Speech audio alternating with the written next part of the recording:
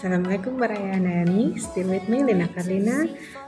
I am English teacher from SMA Handayani 1 Pamukut. Today we will learn about passive voice for 11 grade.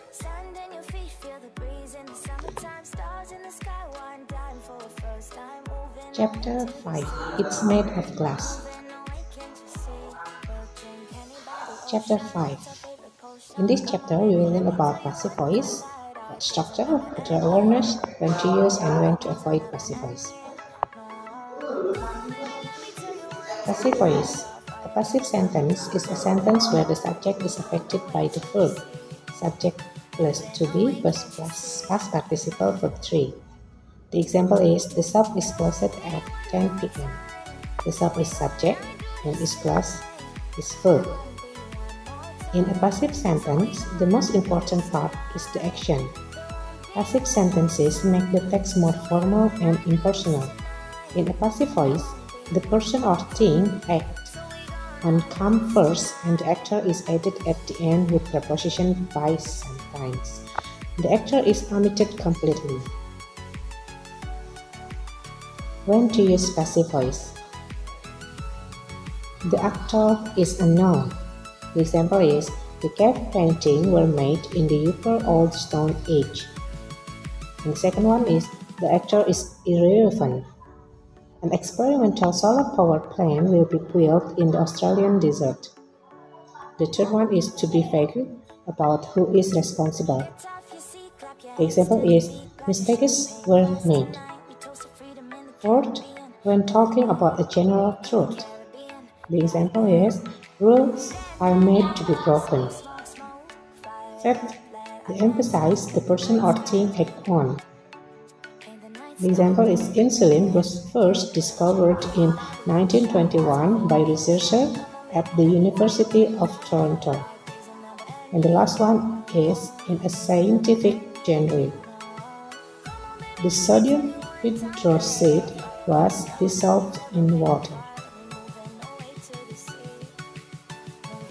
When to avoid passive voice.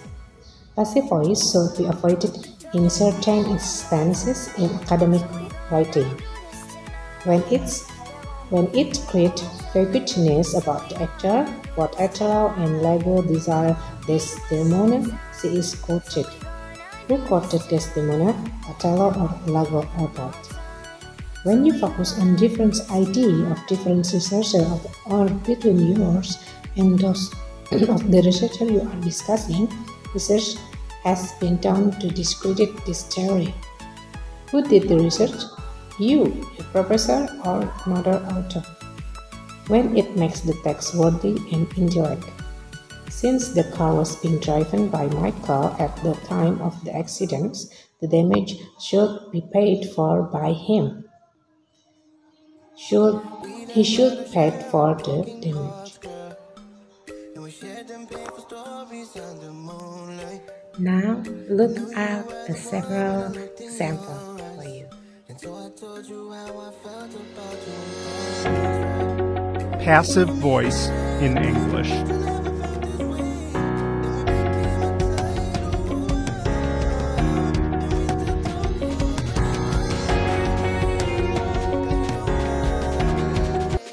Tense.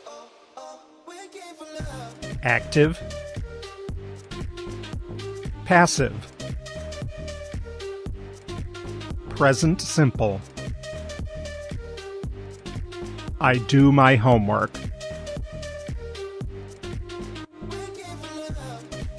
My homework is done. Present continuous. I'm doing my homework.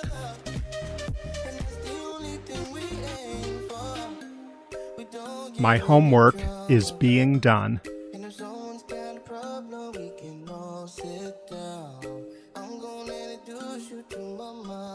Past simple. I did my homework. My homework was done. Past continuous. I was doing my homework. My homework was being done.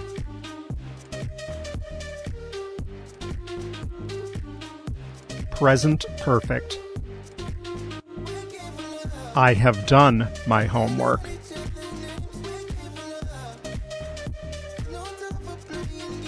My homework has been done.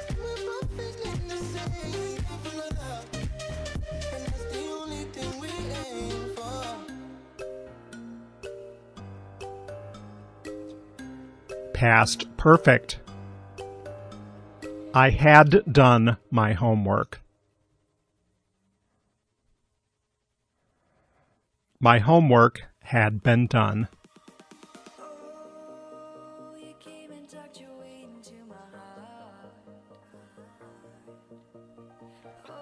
Future simple. I will do my homework. My homework will be done.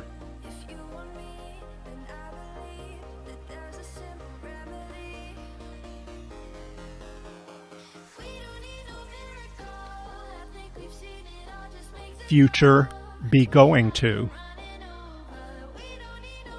I'm going to do my homework.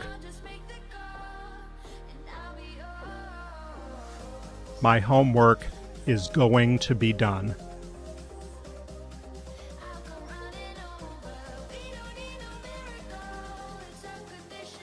Modal. I must do my homework. My homework must be done.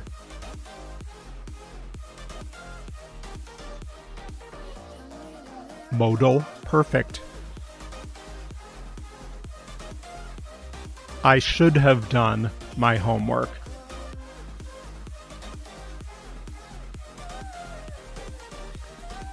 My homework should have been done.